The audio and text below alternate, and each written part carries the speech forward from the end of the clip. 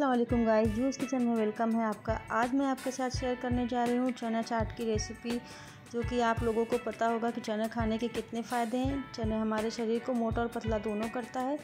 चने में फाइबर बहुत होता है, गैस, डाइजेशन की प्रॉब्लम से भी छुटकारा देता है। चना चाट बनाकर खाने से आप अपना वज़न कम और ज़्यादा दोनों कर सकते हैं। इससे भूख कंट्रोल होती है और आप अपने डाइट में इसको डेली शामिल करिए।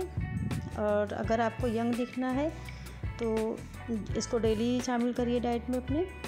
तो चलिए इसकी रेसिपी देख लेते हैं। दो कप चना हमने यहाँ पे लिया है और इसको रात में छोक करके रख दिया था।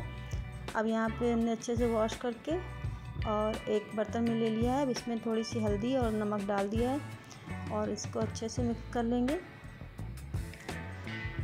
और देखिए यहाँ पर चना जब बॉयल हो जाए दो तीन मिनट के लिए बस जैसे बॉयल होने लगे, वैसे ही हमें इसका पानी जो है ड्रेन कर देना है। देखिए यहाँ पे हो गया है। और अब ये यहाँ पे हमने पानी इसका ड्रेन करके ठंडा कर लिया है। और एक बाउल में इसको अब हमने यहाँ ट्रांसफ़र कर दिया है। अब इसमें हमने यहाँ पे देखिए, एक बॉयल आलू भी ले लिया है। अगर आपको वेट लॉस करना है तो आप आलू ना डालिए, सिर्फ़ चना ले सकते हैं। और यहाँ एक चम्मच हमने चिली फ्लेक्स लिया है। और यहाँ पे एक चम्मच हमने सादा नमक लिया है, यहाँ पे आधा चम्मच हमने ब्लैक सॉल्ट लिया है। और यहाँ पे देखिए ब्लैक काली मिर्च का पाउडर लिया है आधा चम्मच। और एक चम्मच यहाँ चना सॉरी चाट मसाला ले लिया है। अब यहाँ पे हमने यहाँ पे खीरा, एक खीरा, एक टमाटर, एक ऑनियन चॉप कर लिया है। दो चार ग्रीन चिली भी ले लिया है यहाँ पे और लेमन लिया है। देखिए इन सबको कट करके पहले से रख लिया हमने और यहाँ ऐड कर देंगे।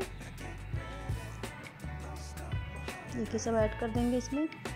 और ये बहुत ही टेस्टी लगता है खाने में। आप सुबह नाश्ते में, ब्रेकफास्ट में या शाम के इवनिंग स्नैक भी बना सकते हैं, इसको खा सकते हैं। और इसको डेली खाने से आपकी सारी प्रॉब्लम सॉल्व हो जाएगी।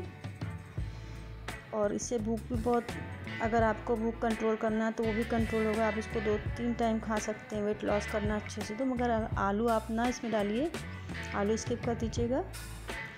और यहाँ पे मेरा कंप्लीट हो गया है चाट बन के तो आपको ये रेसिपी कैसी लगी है? तो बताइएगा कमेंट बॉक्स में। अब यहाँ पे हमने लेमन जूस ऐड कर दिया है इसमें। एक लेमन जूस पूरा यूज़ किया है।